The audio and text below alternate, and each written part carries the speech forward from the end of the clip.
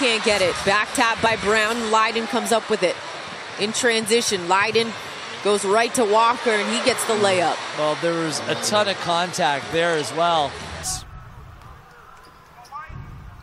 And Hunter in the corner for three. Swish. That's an odd angle corner three there from RJ Hunter, but so confident, hand in the face, able to get it to go.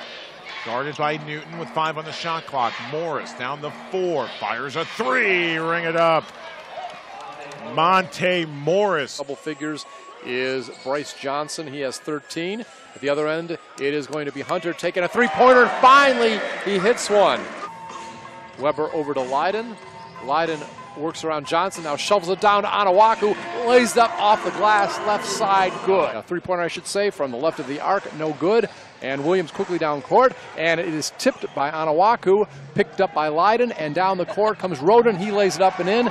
A nice transition. Gets down low, guarded by Hardy. Hardy, though, will steal it away. Let's see how the Vipers do in transition. That's Gets, a block yeah. and a steal. Lydon has it. Lydon will get it down to Hardy. Hardy will lay it up and in.